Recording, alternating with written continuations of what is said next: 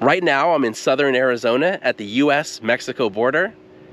And right behind me on the other side of this fence is the Colorado River, or at least where the Colorado River should be.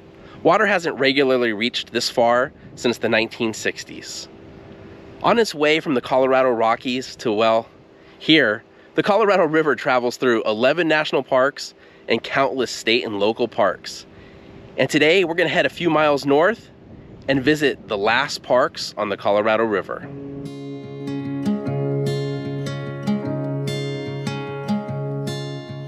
Hey everyone, Steve here. So we are in the southwestern corner of Arizona, and we wanted to get some footage of the dry Colorado riverbed without actually crossing the border into Mexico. But with the newer border fencing that's gone up over the last few years, there isn't really a great place to see it, we've learned. So let's get out of here and start heading north.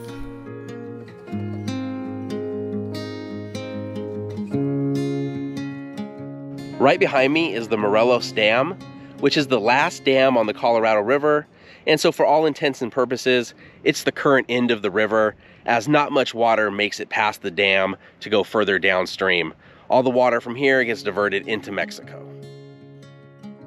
So the Morelos Dam was built in 1950 and I mentioned earlier that the Colorado River hasn't regularly reached the ocean since the 1960s, but I did want to mention that in 2014, it did reach the ocean again for a few weeks when a gate was opened on the dam to do what was called a pulse flow as kind of an experiment to see what would happen to the environment if water was reintroduced to the area. We are a bit north of the dam now, and where it looks like the border fence ends here, we're actually looking at a corner and the fence turns towards the west. I just wanted to point this out because on the other side of the fence is the northernmost point in Mexico. Anyway, let's head to the parks now before we cook in this heat. So we're at the Colorado River State Historic Park, which is part of the Yuma Crossing National Heritage Area. The Yuma Crossing National Heritage Area encompasses several parks, including the Wetlands Park, the Colorado River State Historic Park, and the Gateway Park, which we'll be checking out today. The Colorado River State Historic Park was formerly known as the Yuma Crossing State Historic Park, then the Yuma Quartermaster Depot State Historic Park, before the change to its current name in 2013. This park is on the grounds of the former Yuma Quartermaster Depot, which was established by the U.S. Army in 1864. For much of the 18th and early 19th century, Yuma was the only crossing point for travelers along the lower Colorado River, so the Quartermaster Depot was an important supply point, with supplies from the depot being shipped throughout the Southwest. With the opening of the Southern Pacific Railroad in the 1870s, the depot's importance was reduced and it closed in 1880.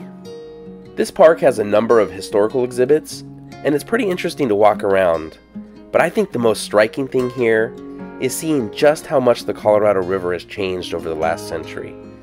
This depot was built on the river, and now it isn't that close.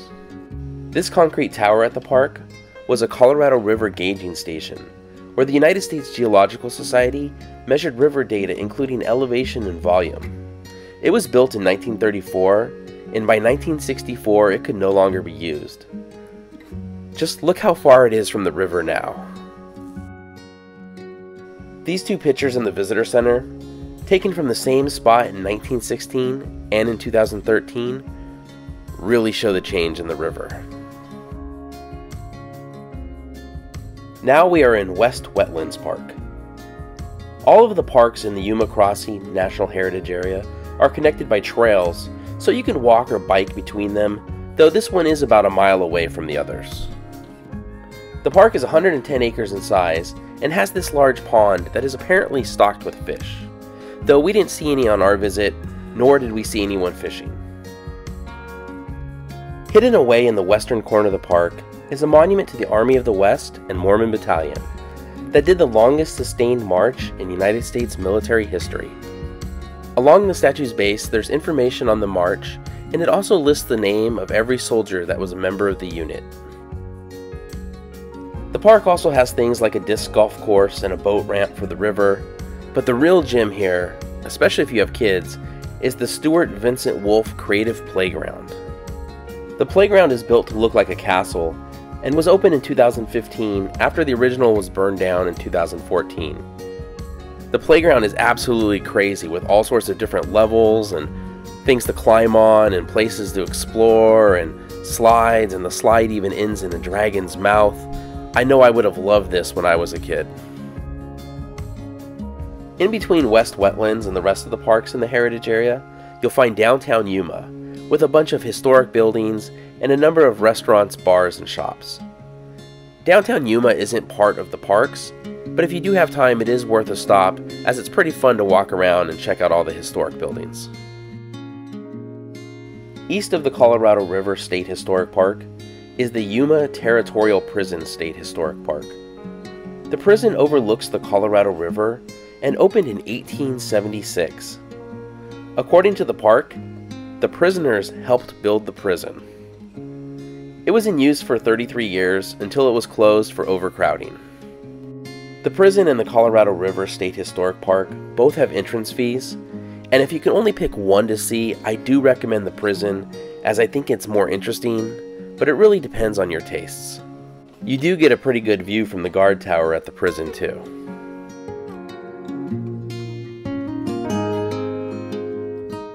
Now we're right off Historic Highway 80 at Gateway Park, where you get a great view of the historic Ocean to Ocean Bridge. Gateway Park is the best place to get a view of the Ocean to Ocean Bridge which was built in 1915 and was the first highway crossing of the lower Colorado River. The bridge was part of the Ocean to Ocean Highway and later Highway 80 until a newer bridge was built in 1956. Between 1988 and 2001, the bridge was closed to vehicles, but after some rehabilitation, it reopened to autos in 2002 and is still in use today. And directly to the west is the bridge that takes Interstate 8 over the Colorado River today.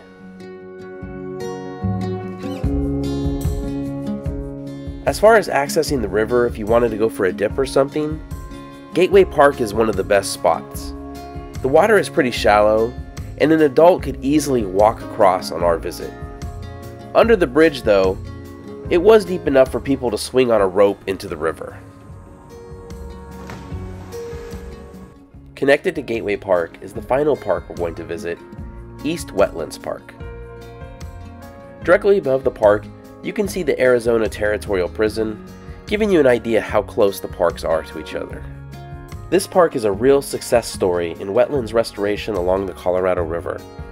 A partnership between the Heritage Area, the Quechan Indian Tribe, the City of Yuma, and the Arizona Game and Fish Department turned what was once a trash dump filled with hobo camps into a natural wetlands area that is a perfect habitat for a number of animal species, including several endangered birds. While some of the other parks focus on the human history along the river, it's great that East Wetlands Park gives you a little idea of what the Colorado River area would have looked like before we changed it. So that's our look at the last parks on the Colorado River. Thank you so much for watching. If you enjoyed the video, please give it a thumbs up, consider subscribing, and we'll see you next week.